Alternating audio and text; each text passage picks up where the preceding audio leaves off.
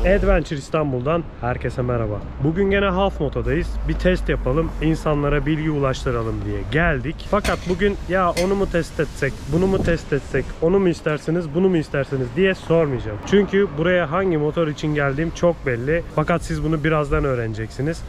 Piyasada çok fazla testlerine rastlanmayan bir makine ama özellikle genç kardeşlerim için çok çok bekledikleri, çok çok merak ettikleri bir makine. Tabi ben de aynı oranda merak ediyorum. Dediğim gibi bu makinaları çok fazla teste bulmak mümkün değil ve bugüne kadar çok soruluyordu. Abi şu modele baksana, bu modele baksana. Ben de genelde aynı cevabı veriyordum. Ya kardeşim keşke test makinesi olsa da test edebilsek. Sağ olsun Half Moto Emre abi dedi ki ya Nuri böyle böyle bir makine var. Denemek ister misin? Binmek ister misin? Abi dedim bekle geliyorum.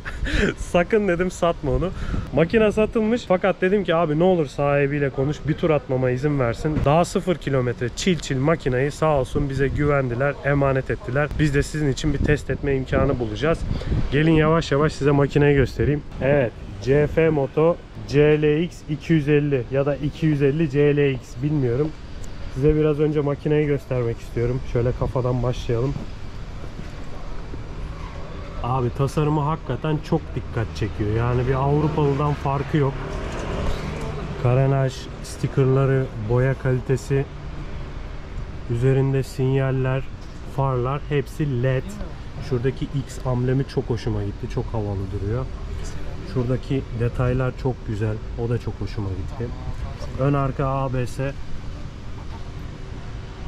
Lastikler CST marka çok bir şey vaat edeceğini düşünmüyorum ama bütçe motosikleti Çin mallarında böyle lastikler normal şuradaki böyle hava kanalları oldukça güzel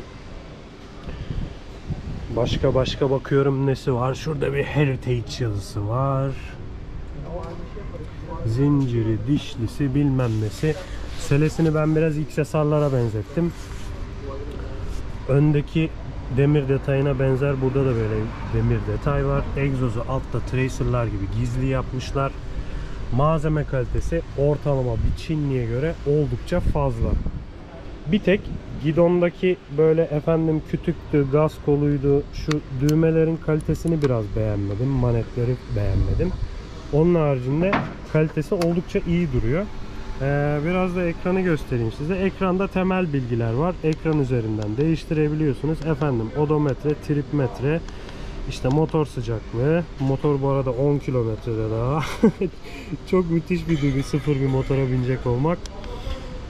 Üstte de efendim işte saat, ortalama tüketim, e, ortalama hız, hava sıcaklığı vesaire gibi, akü sıcaklığı gibi temel bilgiler var.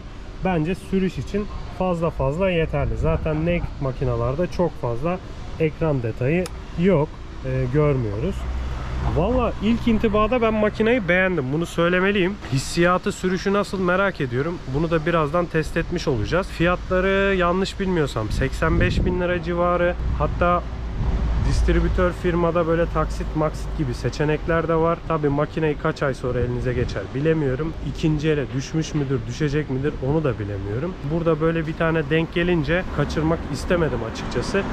Lafı da fazla uzatmadan yola çıkmak istiyorum. Yolda görüşelim efendim. Haydi bakalım gidiyoruz.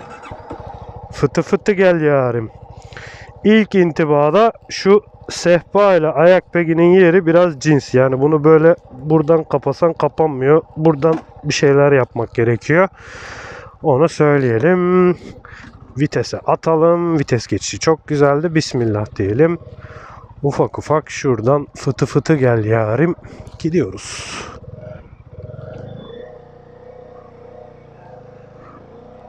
Aynalarımızı şöyle ayarlayalım. Aynalar da eski kuru GS'lere benziyor. Evet aynamızı da ayarladık.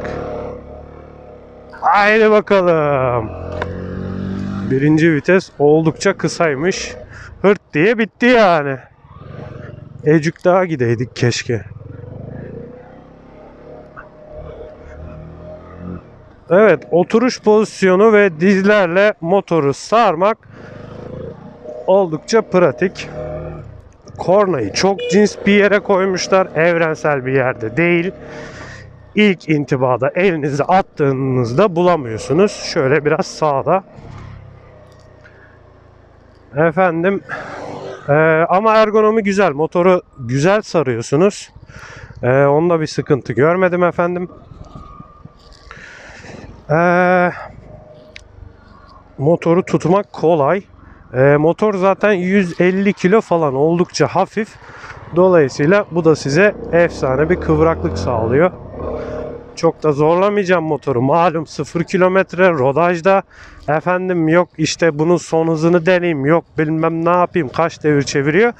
Böyle konulara girmeyeceğim abi. Sonuçta bu da bir arkadaşımızın makinesi. Arkamızdan saysın sövsün istemeyiz. Şöyle bir tadına bırakıp bakıp olaysız yerine bırakacağız. Ee, titreşim tabi tek silindir olması hasebiyle bir miktar mevcut. Ee, özellikle 4500 devirden sonra ayak peglerinde çok fazla hissediyorsunuz. Yani şöyle 5 5000 devirde çok uzun süre giderseniz eli ayağı eli değil de ayağı oldukça uyuşturabilir. Ee, bunu da normal karşılıyoruz. Ya Çin malı işte CF Moto ama bu CF Moto artık e, rahmetli Barkın abinin zamanında tanıdık bu 150 NK'larla falan. Kendini Türkiye'de ispatlamış hem satış hem satış sonrası hem yedek parça hem ikinci el piyasası olarak kendini kanıtlamış bir marka. Dolayısıyla diğer Çin mallarından ayırmak zorundayım. Bu anlamda tercih edilebilir bir makine. Dediğim gibi genç kardeşlerimizin özellikle çok tercih ettiği. Ee, alt devirleri bu arada oldukça güzel. Böyle yani düşük devir yüksek vites kaldığınızda toparlaması oldukça kolay. Böyle çok silkelemeden gazı açtığınızda yürüyor abi. Ee, şuradan şöyle biraz dola, dönelim dolaşalım. Benzini de sağ olsunlar dolu vermişler Emre abiler. Ee, Half Moto biliyorsunuz Half Moto'da böyle aşağı yukarı her hafta bir video yapıyoruz. Ee, bize çok güzel bir imkan, çok güzel bir kolaylık sağladılar. Yani e, tekrar tekrar teşekkür ediyorum onlara da. Güzel esnaf, güzel insanlar. Nuri dedi gel burada kafana ne yatıyorsa al kardeşim götür bin. Şöyle bir 50 kilometreyi geçmeden getir. Ee, biz de çünkü burada genelde düşük kilometre, tramersiz, çiziksiz motorlar satıyoruz. Ee, Dolayısıyla çok fazla kilometre yapmasını istemem dedi motorların. Ya abi dedim ben de yani çok kilometreyle bir işimiz yok. Buradan Bolu'ya gidip gelecek halimiz yok. İnsanlara biraz bilgi aktarabilecek kadar sürsek, fikir sahibi olsak bizim için kafidir. Ee, ondan sonra da zaten bu insanlar bu videoları izleyip ya abi o motor duruyor mu benim Tracer'la takas olur mu diye alışveriş yapan arkadaşlarımız da oldu olmadı değil. Ee, bu anlamda hem takipçimize hem de e, Half Moto'ya destek olmanın hazzını yaşıyoruz efendim. İyi insanları iyi satıcılarla buluşturmak e, nereden baksanız bizim için de güzel oluyor. Biz de test ediyoruz, yayınlıyoruz. Yani e, güzel bir işbirliği oluyor bizim için. E, çünkü e, atıyorum CF Moto gibi motoru ben teste bulmam mümkün değil. E sizin de videosunu bulmanız mümkün değil ancak reklamlarını bulabiliyorsunuz. E, dolayısıyla efendim böyle özgün içerikler yapmak, yapabilmek sizin için de çok faydalı olur diye düşünüyorum. Tabi bu motor satılmış. Yani bu motoru düşünen varsa gidip Half Moto'ya baksın diyemeyeceğim. Ee, ama Half Moto'da da oldukça geniş bir yelpaze var. MV Agusta'sı, Ducati'si, Yamaha'sı, Honda'sı yani her markanın marka e, modellerini, motorlarını ne, bulmak mümkün. Hatta işte böyle Lambretta, işte e, Kimco falan bir iki markanın da bayiliği mevcut. Güzel esnaf, güzel satıcı bize de test anlamında destek verdiği için kendisine buradan tekrar tekrar teşekkür etmiş olalım ve mevzumuza geri dönelim. Evet motor abi çok kıvrak ve çok keyifli sürmesi. Vites pedalı biraz böyle ayağımı sokup çıkarırken zorlanıyorum. Çok alışamadım. Ama naked tarzı motorlar zaten çok alışık olduğum motorlar değil. Onun da etkisi olabilir. Ama kullanırken ya abi bunu da ben nasıl kullanacağım falan dedirtecek bir pozisyon olmadı. Frenlerinden bahsetmem gerekirse malum frenler rodajda abi. Diski balatası sıfır makinenin. Yani frenleri buradan ya iyi tutmuyor desem makineye biraz haksızlık etmiş olabilirim. Ama attığım frenlerde de lan bu durmuyor lan nasıl duracağım falan da dedirtecek bir pozisyon olmadı. Üzerinde e, ABS olduğunu da tekrar söyleyelim. Ön arka ABS'si var efendim.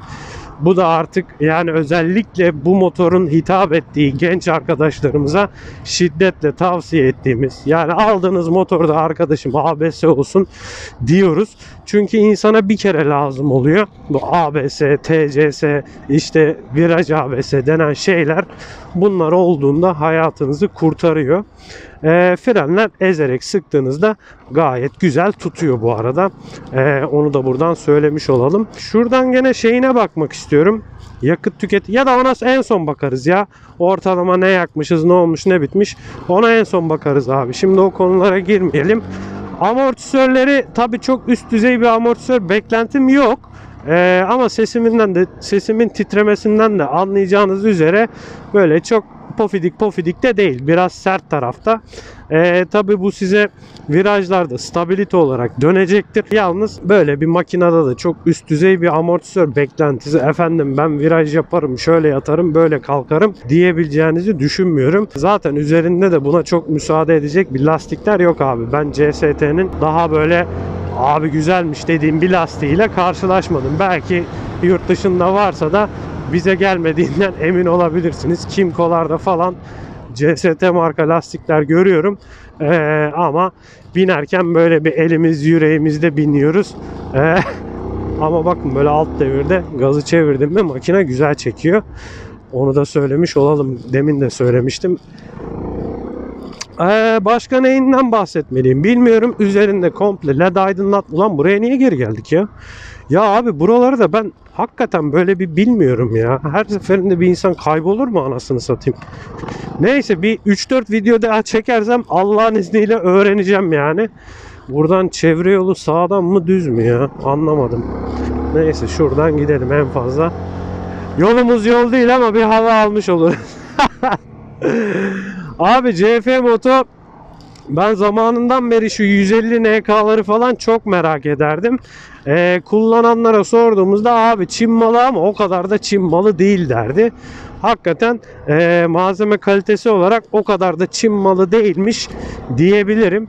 E, çünkü abi şimdi Çin malı da olsa artık abi bir şeylere ulaşmak çok zorlaştı. Yani e, böyle MT25 efendim kaç para abi 110-120 liralar sıfır bulabilirseniz o da kaç ay sonra bulursunuz ne olur bilmiyorum.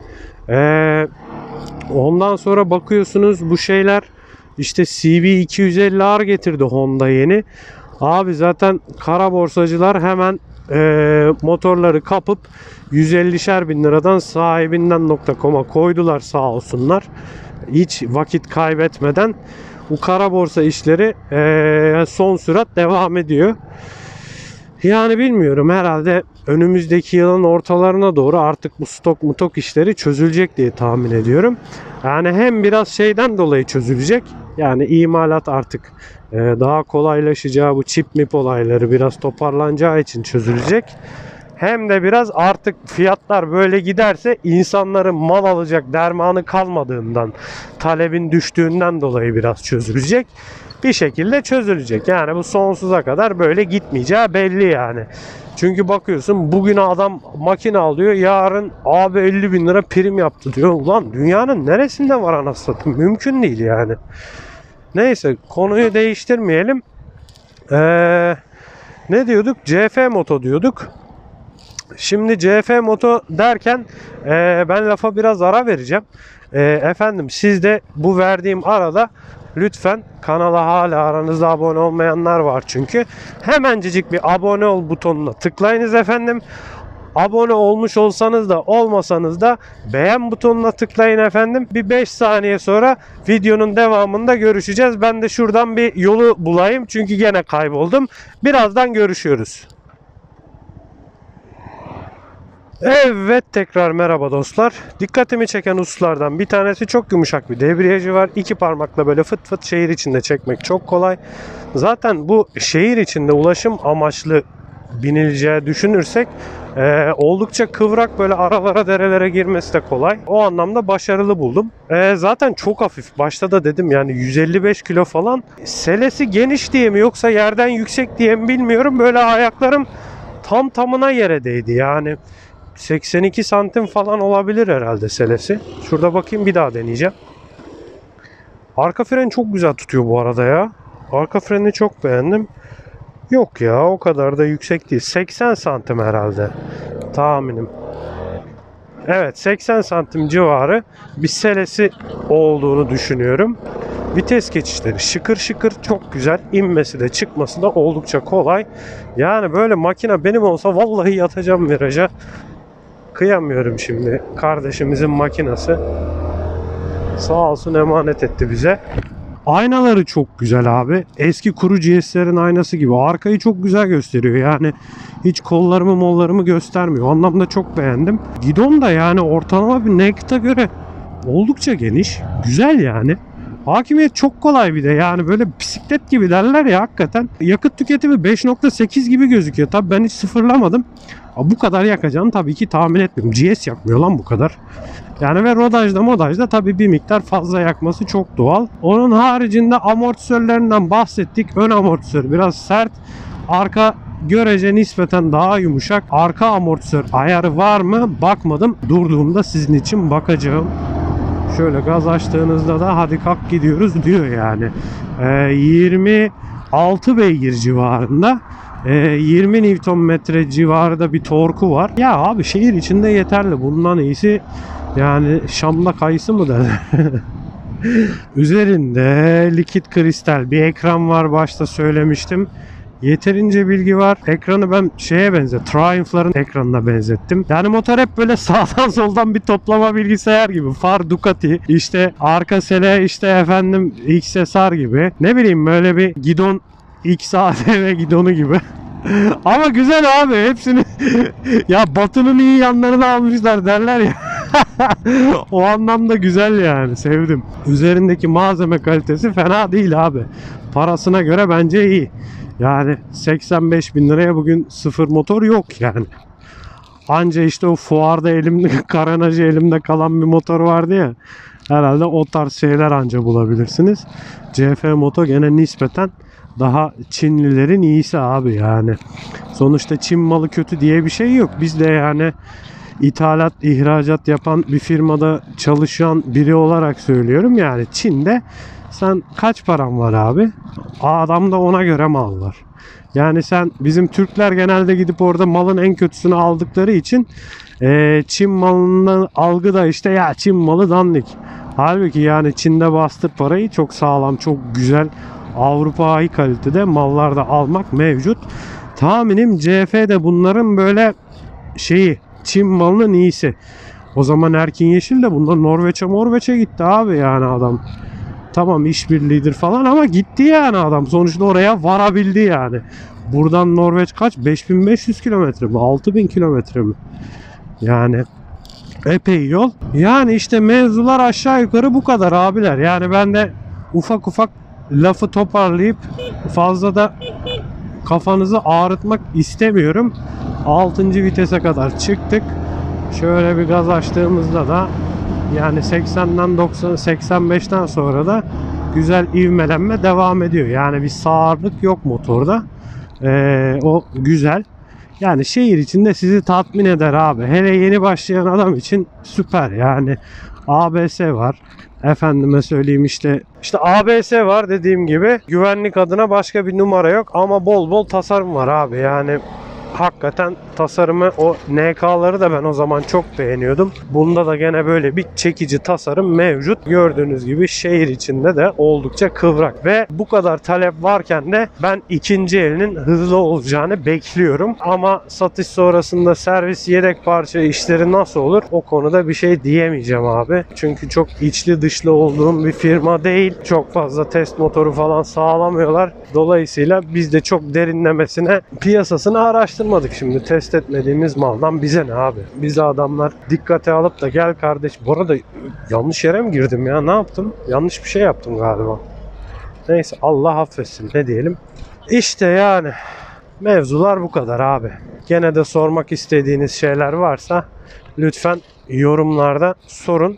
Dilim döndüğünce cevaplamaya gayret edeceğim. Umarım size faydalı olabilecek bir video yapabilmişizdir. Evet, testimiz bitti. Half Moto'ya geri geldik. Güzel bir deneyim oldu. CF Moto daha önce hiç kullanmamıştım. Son olarak biraz biraz motordan bahsedip videoyu kapatmak istiyorum. Arka amortisör ayarı var mı diye size bakıp söyleyecektim. Ee, burada bir ayar gördüğüm kadarıyla var. Evet, amortisör ayarı var. Ama bu ayarından da ben oldukça memnun kaldım. Frenleri hiç fena değil. Lastikler kötü. Sele konforu şehir içinde kurtarır. Hiç fena değil. Yol gidilir mi? Tabii ki gidilir. Her motorla yol gidilir. Aydınlatmalar oldukça güzel. Komple led. Ekran yeterli. Ayna çok güzel. Malzeme kalitesi şu gidondaki kütükleri, gaz kolunu falan saymazsan Çin malının çok ötesinde diyebilirim. Ee, tamam bir Avrupalı bir Japon değil ama Çin malı değil. Onu söylemeliyim. Ee, sürüşünde de ya keyif aldım gerçekten keyif aldım. Böyle şehir içinde güzel yani. Sağa sola ulaşmak için böyle kafeye caddeye çıkmak için oldukça keyifli. Güzel makina. Bence fiyatına göre uygun abi. Yani bugün 100 bin liranın altında sıfır motor zaten kalmadı yani. Ee, bu tahminim 85 lira falan. Bu yaz elinize ulaşması tabii oldukça zor gözüküyor. Ee, çok talep var çünkü. Allah gönlünüze göre versin diyelim. Gene de motorla alakalı sorup öğrenmek istediğiniz şeyler varsa yorumlarda belirtin. Dilimiz döndüğünce cevap veririz efendim. İzlediğiniz için teşekkür ederiz. Başka bir videoda görüşmek ümidiyle Adventure İstanbul'da bugünlük bu kadar. Hoşçakalın efendim.